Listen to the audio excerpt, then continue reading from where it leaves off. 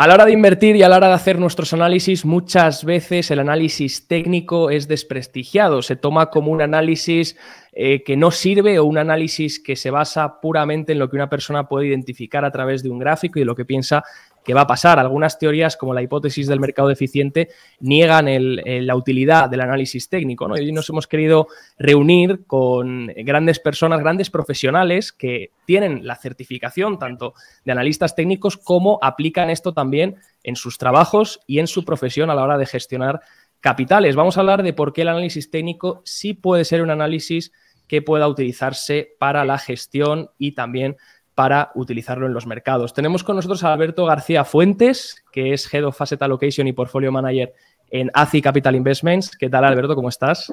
Hola, ¿qué tal? Buenas tardes. Gracias por, por invitarme. Gracias a ti. Andrés Trujillo también, que es economista y senior portfolio manager en Vendio AG. ¿Qué tal, Andrés? Gracias por venir. Hola, Javier. ¿Cómo estás? Un gusto. Encantado de compartir con, con todos y también con el profesor Sergio eh, Santamaría, que es Finance Senior Instructor y Student en Investment Fund Manager de Walton College of Business. ¿Qué tal, Sergio? Gracias por venir. Muy bien, muchas gracias, Javier. Y como siempre con Manuel, eh, representando CMT en España, en Latinoamérica. Manuel, ¿qué tal? Eh, ¿Qué vamos a hablar hoy?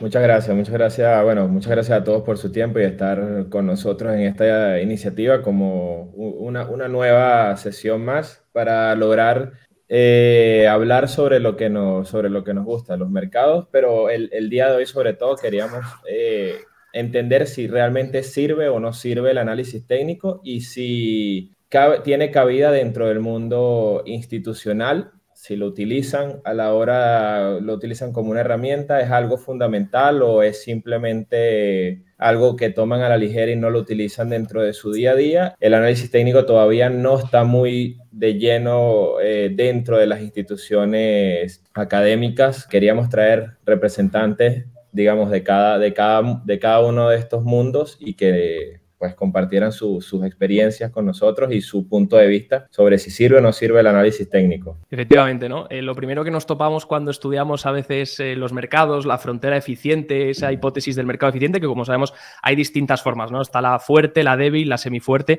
Bueno, la, gran mayoría lo que dice es que si en algunas puede haber eh, cierto reconocimiento al análisis fundamental y a la valoración, en la, en la forma débil no se reconoce esa parte tampoco del analista técnico, ¿no? Entonces parece ser que el analista técnico está estaría haciendo un análisis que ni sirve, ni es práctico, ni le va a llevar a mejores resultados. Sin embargo, vemos que a diario, pues la gente constantemente está mirando los gráficos, también estadísticas, se suele utilizar nuevos máximos, máximos de 52 semanas, cosas de ese estilo, y luego nos preguntamos realmente, claro, ¿esto sirve de algo? ¿No sirve? Eh, ¿Es humo? ¿La gente que realmente utiliza el análisis técnico sabe lo que está haciendo? me decías antes, Alberto, si quieres arrancamos contigo, que tú no creías en el análisis técnico, que esto es importante.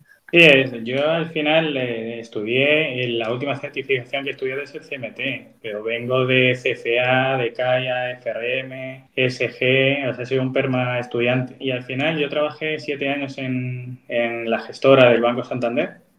Vale. Y se me encargó un, un proceso o un proyecto para crear un indicador de momentum de más para ver movimientos del corto plazo empecé a leer papers y yo al principio, eh, siendo totalmente sincero, creía que el análisis técnico era eh, sobre todo chartista, donde tú ponías el inicio de la línea donde querías y yo le llamaba cariñosamente tiraflechas.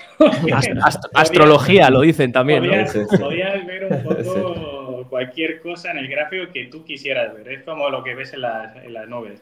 Y mi sorpresa fue muy grata eh, porque me ha ayudado a ver la parte más estadística, como comentabas, del análisis técnico y la parte de hacer un sistema de trading y hacer un backtesting serio de, las señales que te, que te, puedan dar. Realmente para mí es súper útil. Yo eh, como más analista macro, top-down, soy más de tendencia larga, pero una vez que está identificada pues eh, si tenemos un, un canal alcista, teal o bajista, poder jugar esos rangos, lo que buscamos todos.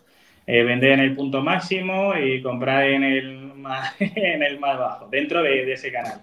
Y para mí lo que es la identificación de tendencias, de punto de entrada, una parte muy importante que es la gestión del riesgo el control de, pérdidas y flexibilidad que se puede aplicar a un nivel muy grande de mercado, pues es lo que me, me lleva ahora a ser un believer como del análisis técnico como un input más a la hora de, de hacer todos mis, mis análisis. El otro día había una entrevista del, gran, eh, del gran inversor que lamentablemente falleció hace unas cuantas semanas, Jim Simons, que es uno de los inversores con mejor track record de la historia, y veía una entrevista y lo primero que decía era, eh, decía, bueno, la, la, teoría del mercado eficiente realmente no funciona porque nosotros hemos detectado que las tendencias existen, que el momentum existe y que puedes coger una tendencia y, de ahí que hayan ganado tanto, tanto dinero también, ¿no? Y luego, bueno, con estadística y, demás cosas, ¿no? Como bien dices, dices algo muy interesante, Alberto, que tú pensabas que era todo chartismo, que es un poco lo que todo el mundo piensa cuando se habla de análisis técnico y te diste cuenta que encontraste eh, nuevas cosas como, por ejemplo, el momentum. Eh, Sergio, Andrés, ¿algo parecido pasó con vosotros? Bueno, Javier, a ver, en mi caso en particular, yo soy economista de profesión y estudié finanzas con, con un foco fuerte en todo el material de, del CFA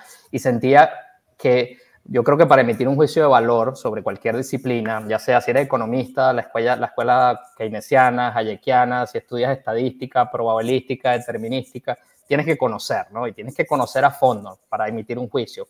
Y en mi caso particular, el análisis técnico era un complemento perfecto, ¿no? De hecho, yo le digo a mis estudiantes que he tenido la oportunidad de dar clases, mira, tú vas, tú vas al mercado, que es algo tan complejo, que es un ser vivo, dinámico, que el problema, en mi opinión, del mercado es que a veces es eficiente, a veces no, a veces es conductual, a veces no, a veces es fundamental, a veces no, es todo y no es nada, y por eso es que no podemos encasillarlo en una escuela de conocimiento. Entonces, en mi caso como economista, que creo en el libre mercado como mecanismo de asignación de recursos, de, de mostrar eh, información sobre un activo, es innegable que el análisis técnico que estudia el precio, los que creemos en el mercado tenemos que creer en el precio, eh, eh, yo no lo puedo rebatir. Ese es el primer argumento. Y el segundo argumento, que también a la academia le había costado mucho aceptar como un factor de driver de los retornos, que es el tema momentum, bueno, yo creo que es innegable, ¿no? Entendido momentum como, para, para quienes te escuchan y quizás no conozcan, bueno, quien lo está haciendo bien es más probable que lo continúe haciendo bien, ¿no? Eh, y, hoy día la academia, tanto empíricamente, académicamente, entiende y reconoce momentum como un factor, como valor, como calidad, como capitalización, como macro. Entonces, esos dos elementos, momentum es súper importante porque la esencia del análisis técnico son las tendencias y es la continuidad o la inercia de los movimientos. Yo creo que esos dos elementos, que es precio como manifestación de oferta y demanda, es decir, estudiar los precios eh, de un mercado libre y el momentum bueno, para mí como economista sí es innegable eh, darle valor a esta disciplina. Podemos seguir, podemos seguir eh, explorando otros argumentos, pero creo que estos son como los más relevantes. Sí, pues estoy totalmente de acuerdo con los comentarios de Alberto y Andrés. El, al final, el, cuando estudias los mercados, cuando empiezas a trabajar en la industria, yo empecé con el CFA también después de hacer mi máster y, todo, dos carreras y todo, te das cuenta que no es suficiente tener un conocimiento fundamental del mercado, porque el rango de valoración siempre es muy alto. Puedes, como por ejemplo ahora miramos a cualquier empresa, por ejemplo Nvidia, que está muy de moda, la acabo de mirar en, en Bloomberg y tienes unos precios objetivos desde 1.500 más o menos, o 1.400 a 600. Entonces, ¿cuál es el precio de, de Nvidia en los próximos años? Puede ser 600, puede ser 1.500, puede ser 2.000, no sabemos. Entonces, necesitas algo más aparte del análisis fundamental. Y el análisis técnico es un complemento perfecto para decirte dónde está la tendencia, para ver dónde está el momentum y a partir de ahí eh, poder eh, ganar más dinero, que es de lo que se trata. A la vez estoy de acuerdo con, con Alberto, la gestión de riesgo muy importante también. Y yo lo que le digo a mis, a mis, estudiantes todo el rato, o por lo menos al principio del curso, es que ir a los mercados, que es lo que decía Andrés también, ir a los mercados es muy complicado, es como ir a la guerra. Entonces, cuantas más armas llevemos en nuestra mochila, más probabilidad vamos a tener de, de ganar de ganar esa guerra que va a ser muy difícil, que vamos a estar siempre bajo presión. Entonces, mi visión es, utiliza todo lo que puedas, el análisis fundamental es muy bueno, el técnico también es increíblemente potente cuando lo utilizas apropiadamente. Y luego tengo aquí otro detalle, una, una frase que, que, creo que es muy relevante en este caso, de, de George Box, un estadístico británico, que dijo que todos los modelos están equivocados, pero algunos son útiles.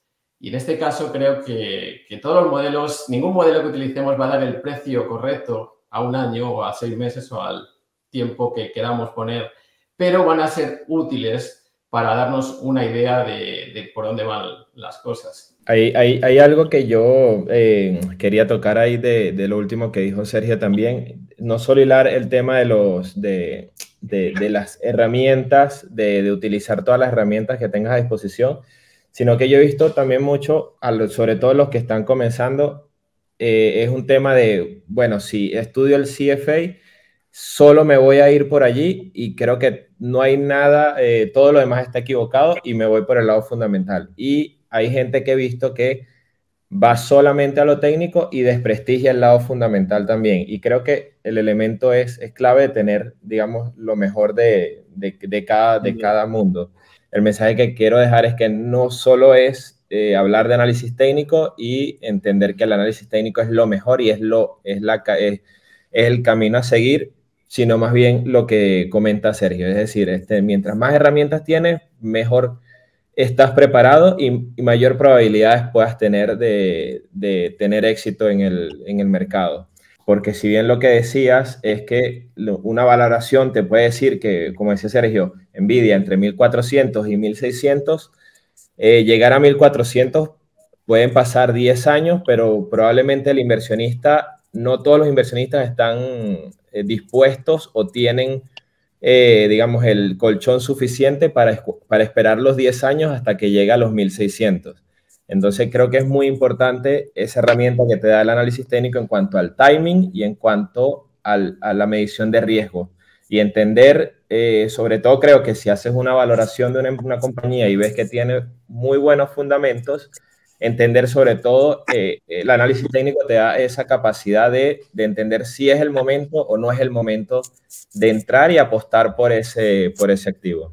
Eh, realmente yo creo que, que, son complementarios. Tú en, en eh, CM, CFA o algo más orientado a riesgos como puede ser el, el, FR, el FRM, pues se habla mucho de volatilidades, se habla mucho de distribuciones Mientras que en el CMT, al final, como bien decía Andrés, pues eh, lo que estudias es el precio y es un precio que se estipula por oferta-demanda, donde esos diferentes agentes que hay en mercado pues tienen sus sesgos conductuales, que eso lo ve mucho en el análisis de precio. Entonces, al final, por teoría autocumplida incluso, pues lo que puedes eh, ver es que hay eh, tanto resistencias como soportes en puntos clave solamente porque es un 4000 o un 5000 y eso no te lo enseña eh, el CFA. Entonces, partiendo de la base y creo que es algo súper importante lo que hemos comentado todos.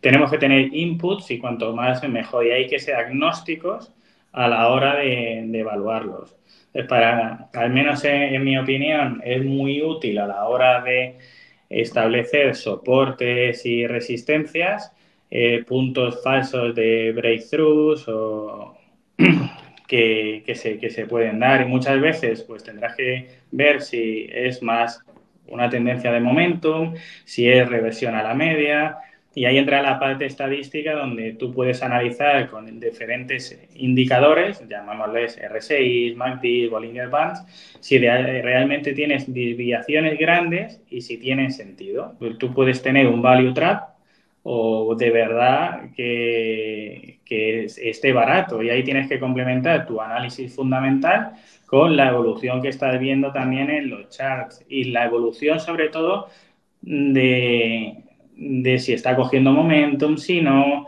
si luego ya yendo a, para mí, lo último sería ya la parte, en mi caso, la parte de echar, si realmente pues tienes eh, las figuras en diferentes periodos, si tienes un hanging man o tienes un doji, eso cómo evoluciona. Pero es un eh, ver de todo, todo un poco. Y eh, trailing stops, stop losses, el CMT te da para mí sobre todo eh, más sensibilidad sobre el sentimiento que tiene el mercado, más que otras variables como la volatilidad, por ejemplo. Fíjate, Javier, si me permites, para complementar a Alberto, tema gestión de riesgo, por, por qué creo que, que es diferente, ¿no? Y en este caso, el análisis técnico, cuando haces el análisis o cuando arrancas y, y empiezas a, a, a, tratar de evaluar el activo, eh, un poco, un poco piensas en este tema de qué pasa si las cosas salen mal. Y, por este mismo elemento que plantea Alberto, que tiene zonas de control, líneas en la arena, donde tú puedes trazar una línea y dices, bueno, por debajo de este nivel quizás no me interesa participar de este activo, eso hace que sea un poco mm, más objetivo en el proceso de toma de decisiones. Ese es un primer elemento, ¿no? cuidar más el downside que el upside, eh, que dificulta quizás en, otras disciplinas o otras formas de hacerlo. Em, y, también agrego que, eh, bueno, el, analista técnico en teoría es agnóstico de, la dirección del mercado, es decir, es completamente reactivo. Su labor no es tratar de predecir eh, hacia dónde va, hacia qué nivel va, a llegar el mercado, sino simplemente yo asumo que el precio descuenta la información disponible, asumo que en el mercado hay participantes que saben más que yo, que tiene, hay asimetrías evidentes en el mercado, hay gente mejor preparada y yo simplemente doy el paso al frente y me sumo con ellos. Cuando yo empiezo a entender que la cosa y la situación se revierte, bueno, me, me, me, bajo de la posición. Entonces, en ese sentido, y, y, creo que lo conversabas tú, Javier, al comienzo, a mí me captura del análisis técnico también, hay una suerte de humildad intelectual, porque dices, mira, esto es tan complejo que yo, yo no voy a tratar de modelar las 50.000 variables que pueden afectar el precio de la cotización hoy, yo simplemente reacciono. Eh, y, todos sabemos que en la medida que el complejo, el modelo es más complejo y tiene más variables, es más probable que falle. Entonces, em, bueno, apuntaría a esos dos elementos del tema de gestión de riesgo. Eh, sí, estoy de acuerdo en los comentarios de, Alberto y Andrés, solo algunas, algunas puntualizaciones. Eh, por ejemplo, el el CF también tiene gestión de riesgo, sobre todo en el nivel 3, es gestión de carteras y hablas de, de cuenta la diversificación y todo lo demás con mucho detalle. Entonces, también el CFI es útil para gestión de riesgos, pero es verdad que cuando compramos una acción individual, la que sea, sobre todo si es muy volátil, ahí tenemos mucha, mucha incertidumbre hacia dónde se puede mover el precio, no sabemos. Entonces, ahí es cuando el CNT puede ser adecuado con los stop losses y otras técnicas que aprendemos. Lo que pasa es que los stop losses también son un poco engañosos y son difíciles de poner y a veces lo ponemos y justo el mercado da la vuelta. Entonces, claro, eso lleva mucha experiencia y, tiempo. Pero el tema de riesgos en general creo que es un tema crítico para cualquier inversor, sobre todo para los retail investors, para los pequeñitos, porque los profesionales siempre, como sabemos, ¿verdad? El riesgo es una cosa importantísima, es retorno y riesgo. La misma moneda, dos caras, pero van juntas. Pero cuando un inversor empieza normalmente te enfocas en el, un inversor principiante, te enfocas en el, en el retorno. Dices, he comprado Bitcoin, he ganado un 100%, he comprado Nvidia, he ganado un 300%, pero no te enfocas en la otra parte, en el riesgo que luego la aprendes cuando de repente la acción cae un 50 o un 80% y ya te despiertas y, y, aprendes. Cuando se invierte al estilo, quieres modelar un poco a Warren Buffett o el más puro estilo value, pues muchas veces compras esa acción que aunque tus, tu modeling puede dar que esté barata y puedes tener un valor intrínseco eh, superior al que cotiza el mercado, pues luego a veces dices, vale, pero ¿y si no, no? Eh, compro más y, vas, y vas como dicen algunos, promierdando ¿no? Eh, sobre esa posición y te vas, y te vas poniendo todavía más en, el downside. Entonces, sí, sí, es, interesante sin duda que el, retail, sobre todo, que va a invertir sus ahorros, lo primero que debería estudiar es un poco de gestión de riesgo, volatilidades y, como bien dices, el stop loss, porque además es que no es lo mismo poner un stop loss de un 7% en una acción poco volátil que ponerlo en una acción muy volátil. Al final va a ser un engañabobos, ¿no? Entonces, sin, duda, muy interesante. Quería preguntaros, eh, tenía apuntado aquí, Manuel, también, Em, del tema de cómo, cómo, cómo, gestionáis vuestra operativa, o cómo gestionáis el análisis técnico dentro de vuestra, de vuestra gestión, de, vuestra operativa, sobre todo en, en, la parte profesional, ¿qué soléis aplicar? Nos has dicho tú un poco por encima, Alberto, el tema de Momentum, también lo habéis recalcado Andrés y Sergio. Eh, ¿Podremos eh, saber un poco más? Estilo, algunos indicadores que puedan ser útiles, eh, algún tipo de, de, sistema que pueda ser útil que seguís, o algunas cosas que miráis para, también a la gente que está aprendiendo, ¿no? Ver qué puede ser útil y qué, y qué se usa.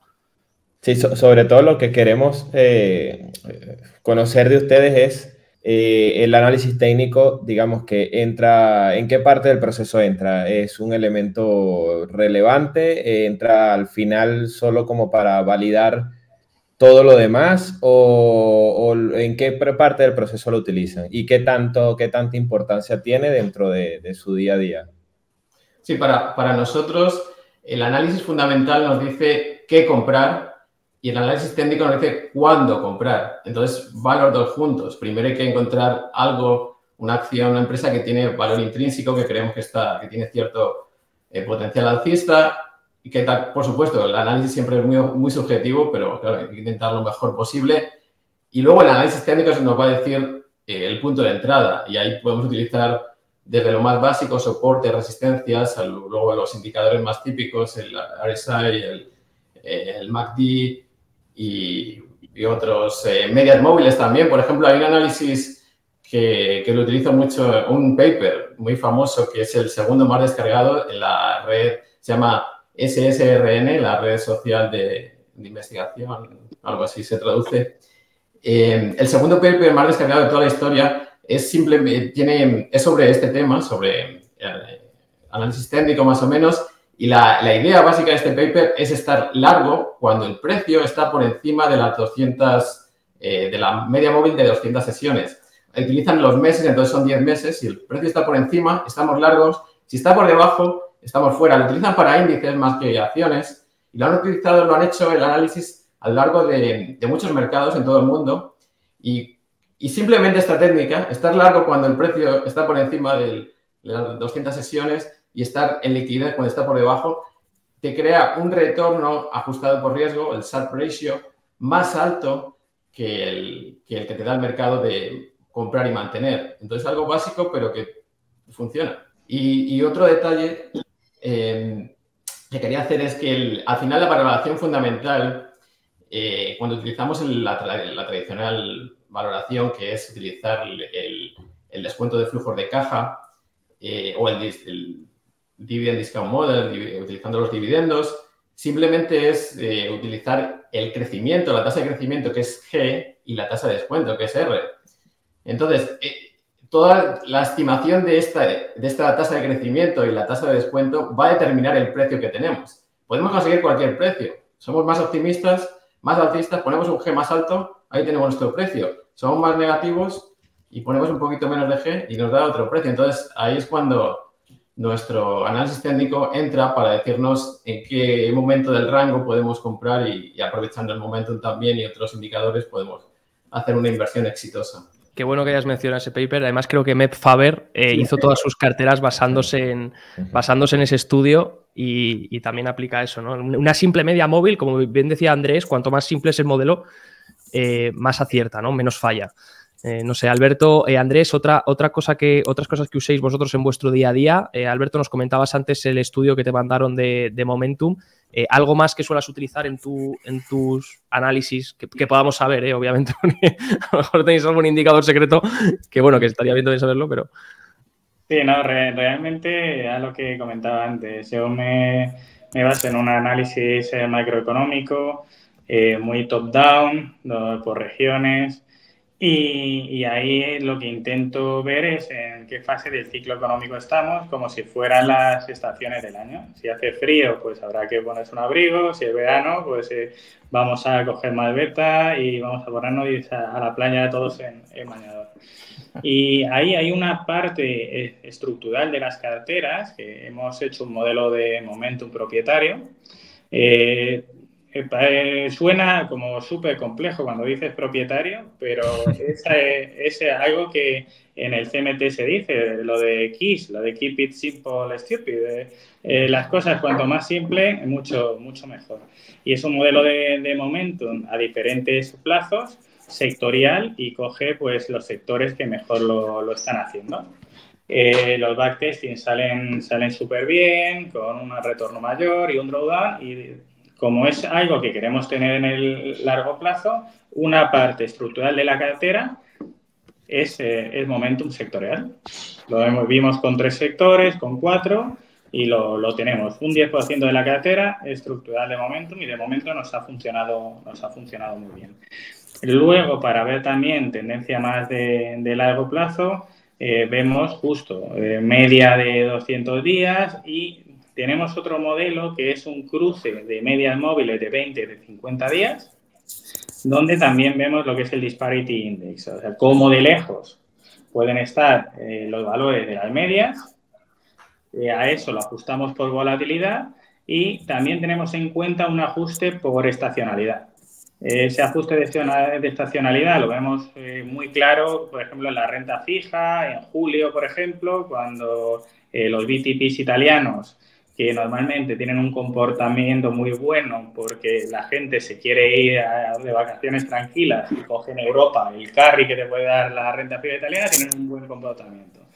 Pues luchar también contra esa estacionalidad pues al menos tenerla en cuenta, valorar si en el 95% de las ocasiones en julio hay un activo que lo ha hecho bien, pues eso tenerlo también como un, extra. Y eso también lo, tenemos. Y luego soportes y, el, el, RSI lo usamos tanto sectorialmente como en eh, fuerzas relativas o sectores eh, ajustados por eh, lo que es el índice de referencia y de eso calculamos los RSIs. Los RSIs, en vez de basarnos en el típico 30-70, lo que sí que nos gusta es eh, hacer análisis de desviaciones típicas que han tenido esos RSIs en la historia. No es lo mismo un sector, como bien comentabais antes, con más volatilidad que menos.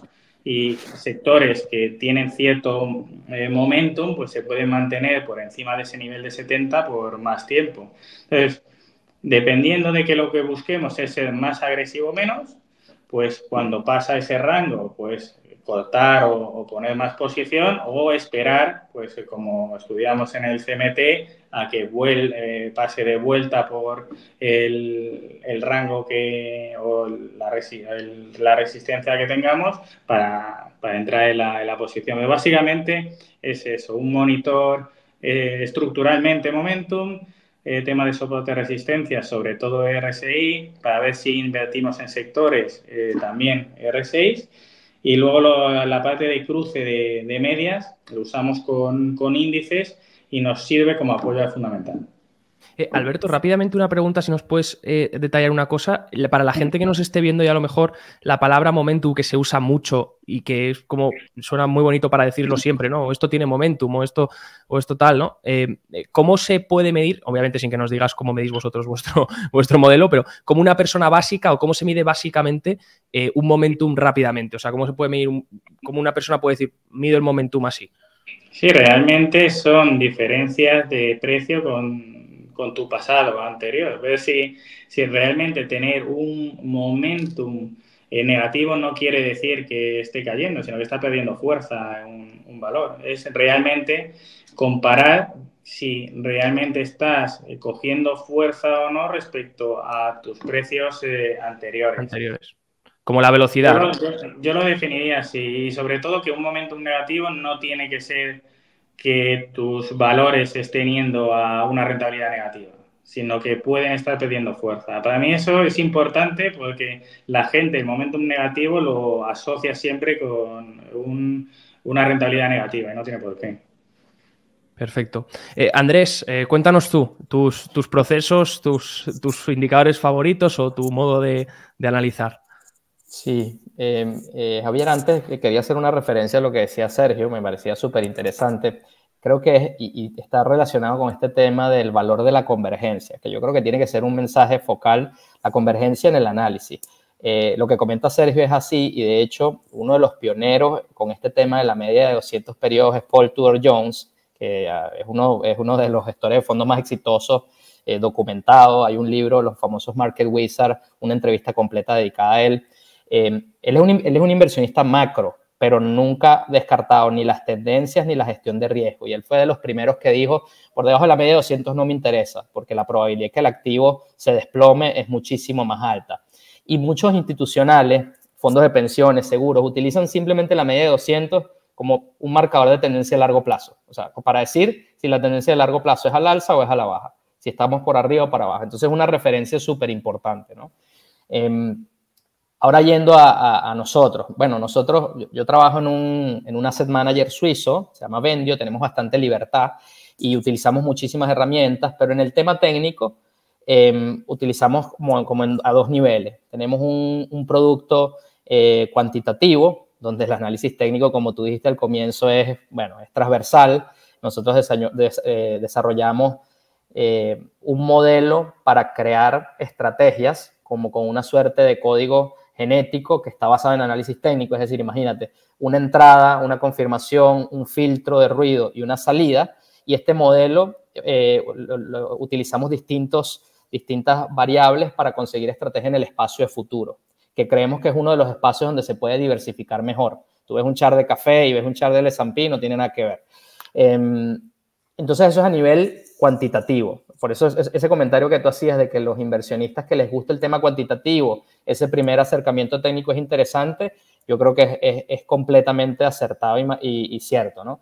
A un nivel discrecional, eh, nos gusta muchísimo hacer macro, como habla Sergio, pero te puedo rescatar del análisis técnico tres, tres herramientas que utilizo y, y, te digo además algo, en la medida que uno va creciendo, al menos en mi caso en la carrera, se va alejando más de las cosas que parecen al comienzo sofisticadas, los indicadores de momentum, porque entiende al final que no tiene valor y que son derivados del precio. empiezas a ir a lo más back to the basics, ¿no? En, en inglés, precio, tendencia. ¿A dónde apunta esto? Arriba, abajo, lateral. Nosotros estudiamos análisis intermercado y como economista a mí particularmente me encanta, que es básicamente entender las relaciones, pero vistas en un gráfico entre las distintas clases de activos. Si, los bonos están cayendo de precio, las tasas de interés tienen impacto en las acciones, la vinculación, como dice Sergio, vía eh, flujos descontados más pequeños a valor presente, em, el dólar impacta las materias primas, la inflación aumenta eh, las tasas de interés, empiezas a armar ese rompecabezas global y a mí me encanta hacerlo. Creo que es una de las cosas más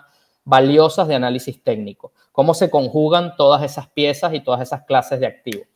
Y tiene que ver con este hecho de que nosotros tratamos de responder la pregunta, ¿hay apetito por riesgo o no hay apetito por riesgo? Ese, ese es básicamente nuestro, así arranca nuestro análisis em, macro, si pudiésemos decir.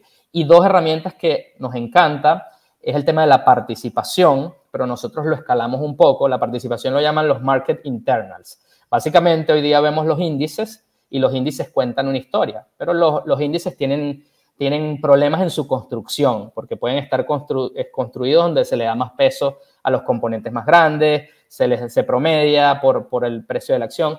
Entonces uno tiende a ver qué está pasando debajo del índice. Es decir, si el índice tiene 100 componentes, ¿cuántos componentes están subiendo? ¿Cuántos componentes están bajando? O sea, es un movimiento que está acompañado por participación. Nos, yo, nosotros escalamos ese concepto a nivel global. Estamos viendo renta variable americana y nos encanta. Bueno, pero ¿qué está pasando en Hong Kong? ¿Qué está pasando en Europa? ¿Qué está pasando en Latinoamérica? Es decir, hay acompañamiento de ese apetito por riesgo por renta variable. Entonces ese es el segundo elemento, participación global. Y el tercero, que lo mencionó Alberto, que a nosotros nos encanta, es fuerza relativa, no tiene nada que ver con el indicador este, el RCI. Es simplemente cuando un cliente me dice a mí, que tengo años escuchándolo, eh, quiero invertir en los mercados emergentes, porque los mercados emergentes siempre venden la promesa de que, de que es el momento de los emergentes. Es, ese, ese, cuento de, bueno, ahí vienen los emergentes, ahí vienen los emergentes. Y yo le digo, mira, te voy a mostrar esto. Y le muestro un gráfico donde le coloco cualquier índice americano contra los emergentes los últimos 10 años y el performance relativo, obviamente, eh, apunta hacia el mercado americano. Y eso es una macro tendencia que aún no está ni cerca de cambiar. Entonces, ese análisis de fuerza relativa es medir básicamente quién le está yendo mejor, quién le está yendo mejor entre dos mercados.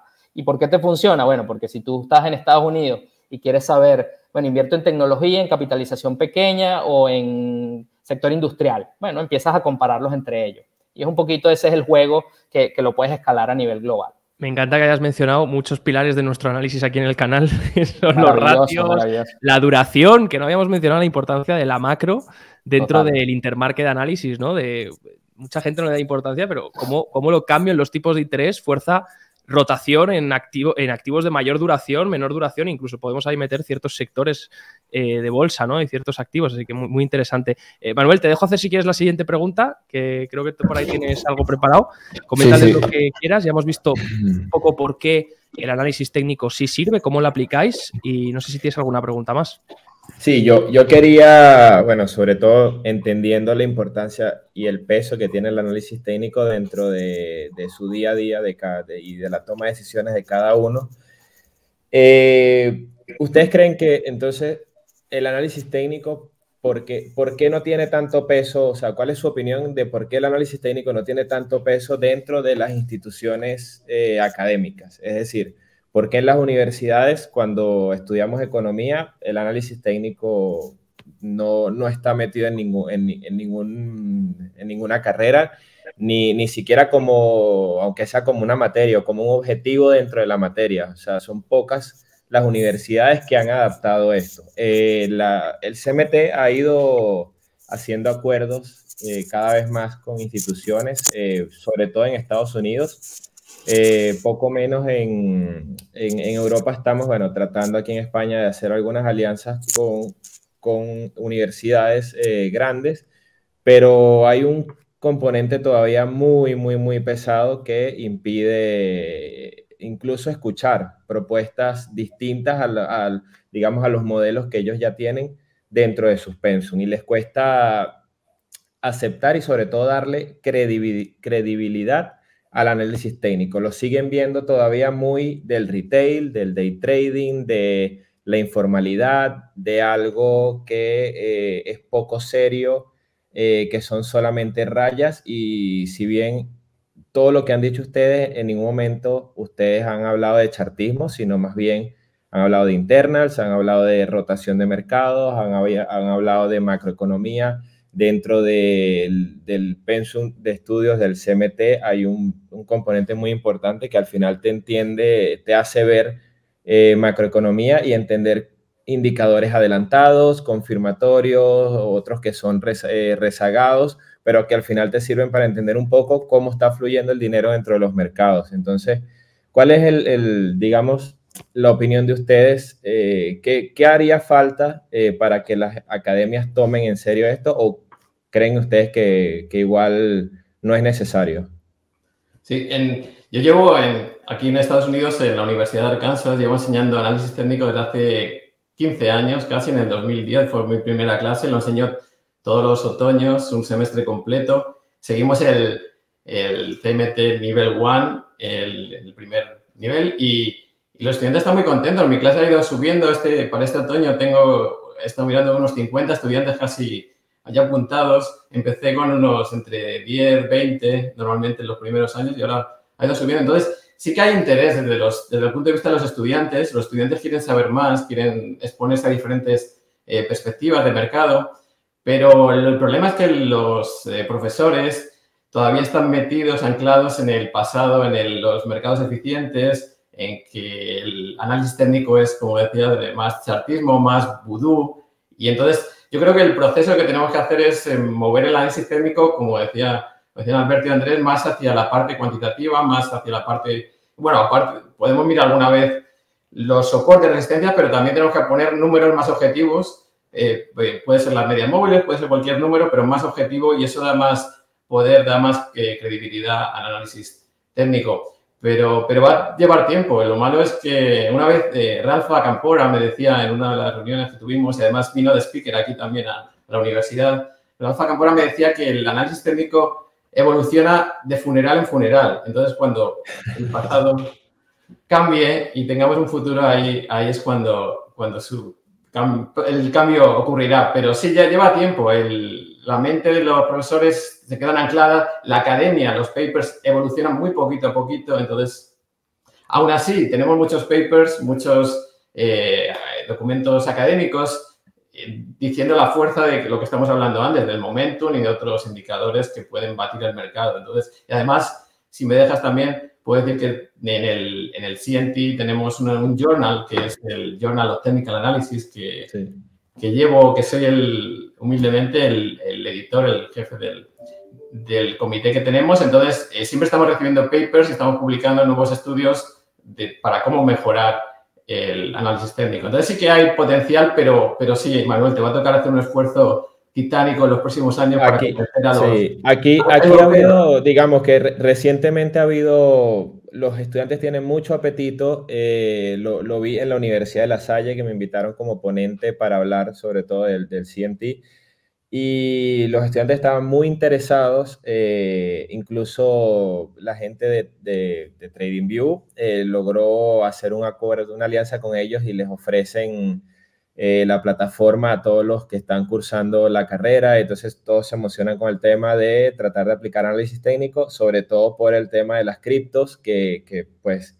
los, son jóvenes, les, tienen apetito por riesgo, quieren ver cómo, cómo participan. Entonces, claro, creo que lo más sencillo y digamos que fundamental no aplica mucho en el tema de criptos todavía, eh, pero entonces lo que tiene cabida es más análisis técnico. Entonces, claro, he visto que aquí hay muchos, muchas, digamos, estudiantes que tienen apetito por análisis técnico, pero eh, la verdad es que encuentran poca oferta para y poca, poca oferta, sobre todo profesional y de, de, cara seria, o sea, muy, muy, muy en serio.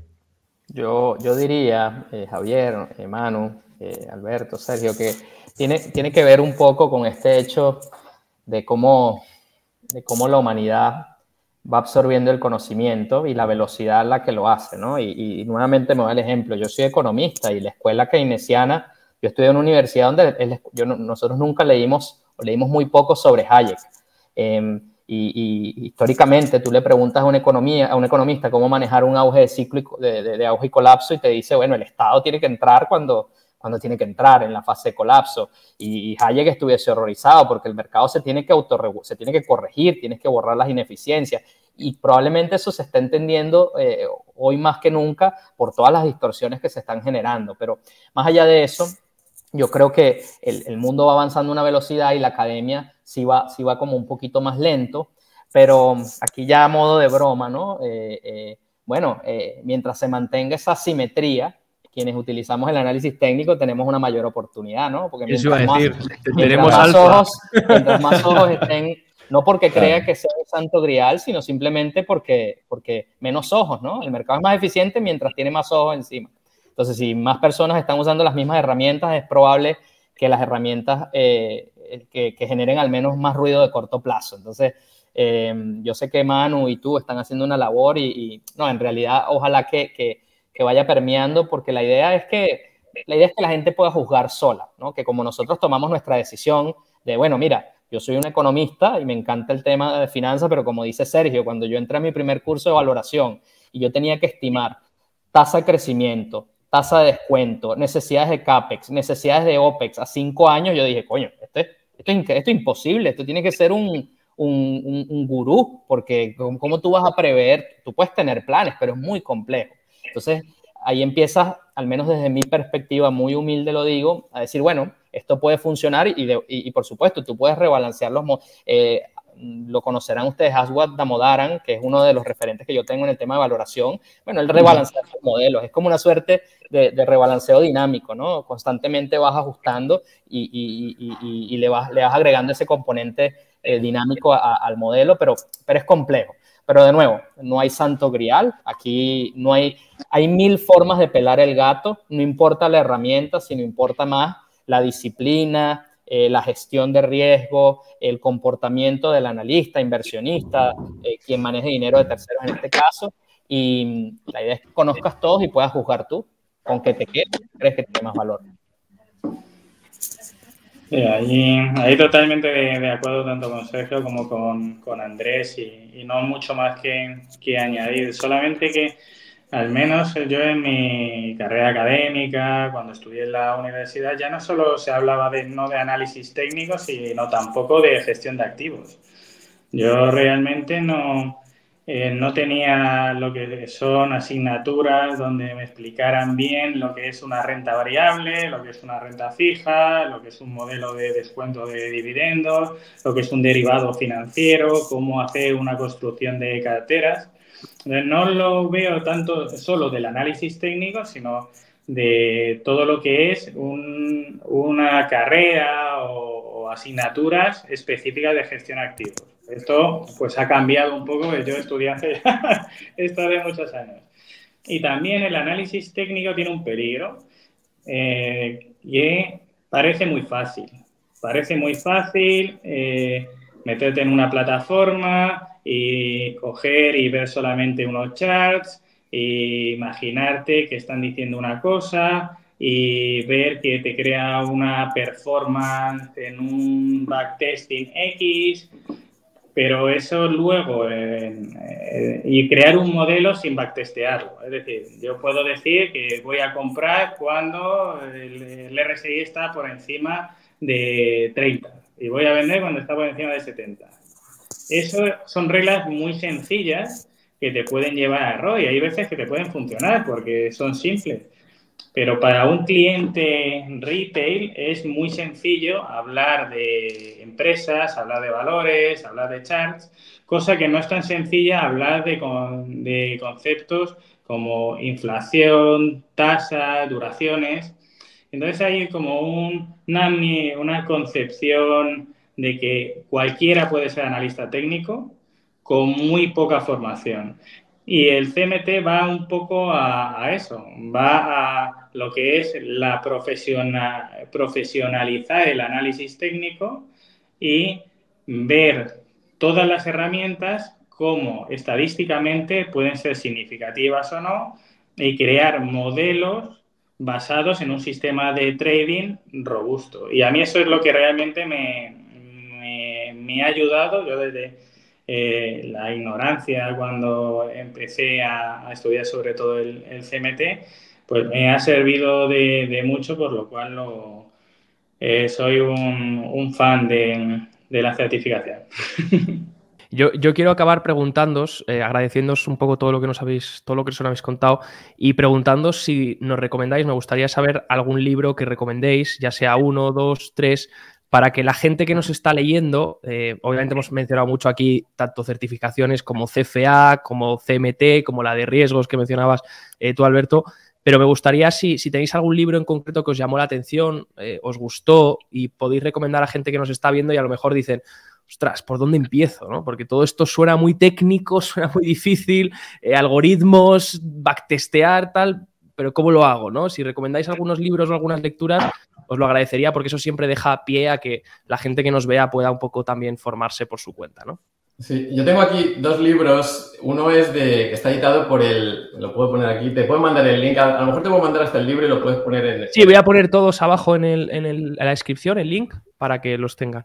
Este es una, un libro muy pequeñito, son 30 páginas, 30, 40 páginas. De, está, están en los dos que voy a decir están en inglés, pero bueno, no son difíciles de, de entender. Eh, y se llama Technical Analysis, eh, está editado por el CFA Institute Research Foundation y habla básicamente del inicio, desde el inicio del análisis técnico hasta cómo ha ido evolucionando y desde un punto de vista muy académico, con todas las citas, con todas las referencias. Entonces está, tiene mucha, está muy bien hecho y, tiene, y te resume todo muy rápido y te cuenta cómo evoluciona el análisis técnico, las críticas que hay, las posibilidades del futuro. Entonces, esto creo que puede ser muy interesante para la gente que esté interesada en aprender. Y luego tengo el otro que he utilizado en mis clases durante muchos años. Bueno, ahora, utilizo el, el, CNT Level 1, el libro que, que tiene todo, el, todo el currículum del nivel 1, que este también está bien para los que quieran estudiar, para los candidatos futuros. Está muy bien. Y el otro libro que es más un poquito más general, que se llama Technical Analysis de Complete Resource for Financial Market Technicians, es de Kirkpatrick. Este, es una edición más antigua, pero este resume todo lo que tiene el, el CNT currículum tiene todo el, todo el tema prácticamente. Entonces, pueden ser útiles para la gente que se quiere iniciar. También para leer algún capítulo sobre un tema en concreto, sobre el momentum, sobre otros indicadores. Eh, eh, por ejemplo, para la gente que quiera la parte más subjetiva, los Elliott Weights, esas cosas también pueden aprender. Pero la, parte objetiva es la que yo recomiendo, que es la que nos puede eh, dar más beneficios desde el punto de vista más, más cuantitativo. Qué bueno, Sergio, gracias. Eh, Andrés, Alberto, ¿algunas lecturas a recomendar?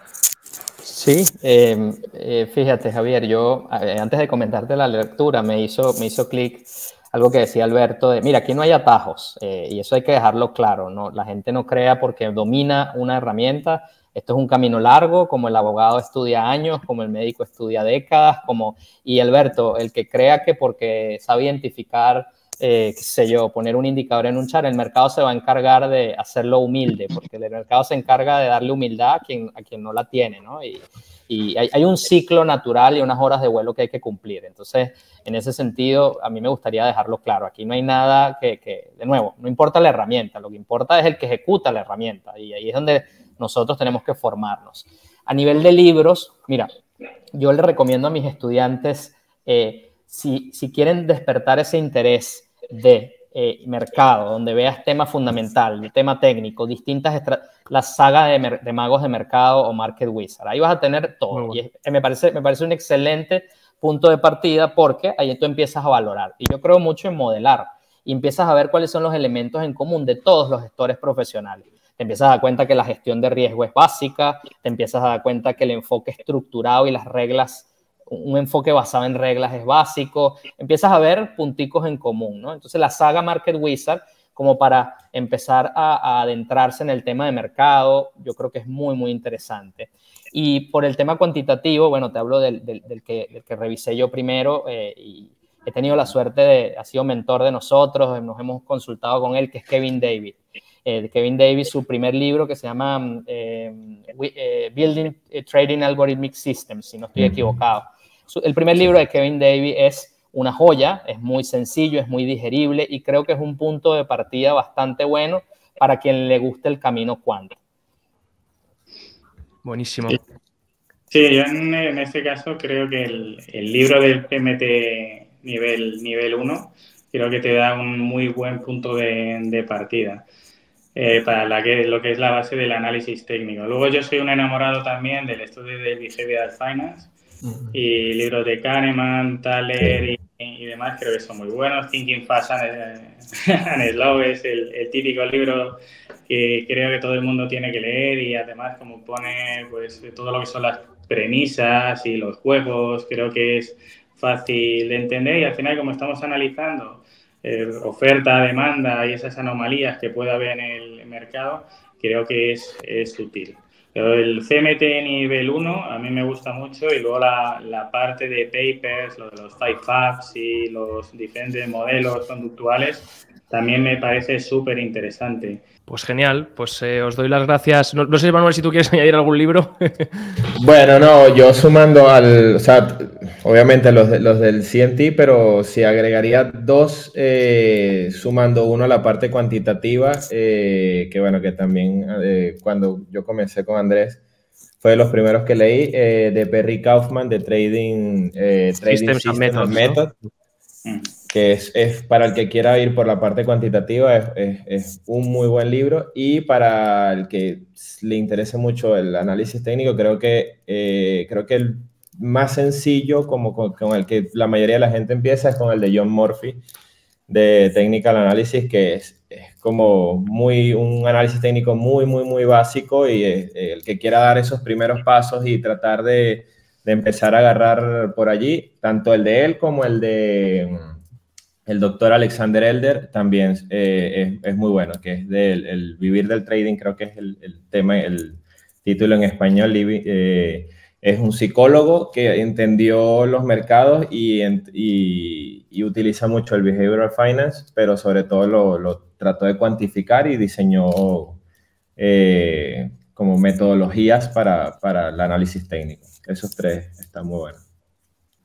Pues buenísimo, pues nos quedamos con todas estas, con todas estas recomendaciones y os damos las gracias a, los cuatro, sobre todo a Alberto, Andrés y, Sergio, por, por, habernos dedicado este tiempo a mí y a Manuel eh, para contarnos un poco cómo aplicáis el, análisis técnico. Espero que alguien se haya podido sentir motivado, que a lo mejor estaba algo decepcionado por todo lo que le, por todo lo que ha visto, lo que le cuentan cada vez que intenta aplicar este tipo de análisis, pero que vea que no es simplemente lo que se ve en la fachada, el mainstream de analizar un gráfico y ver cómo sube una vela y cómo se dispara como con las criptos, ¿no? Sino que es, es más, hay detrás un trasfondo que es el análisis de cómo se comportan los precios, del momentum y diferentes cosas y sobre todo luego la parte final esa de que habéis recomendado mucho y veo que mucha gente que empieza en análisis técnico acaba aplicando, que es esa parte cuantitativa y de crear sistemas, de crear algoritmos. Aquí os han dicho dos libros muy buenos, pues, pues para quien quiera, ¿no? Que al final es, la libertad máxima, ¿no? Poder crear algo que funcione y ni siquiera tener que involucrar tus emociones dentro del mercado, pues ya es pasarte el juego, ¿no? Así que muchas gracias a los tres y espero que podamos volver a repetir pronto. Gracias a vosotros. Muchas gracias, Javier y Manuel. Hasta luego. Hasta luego.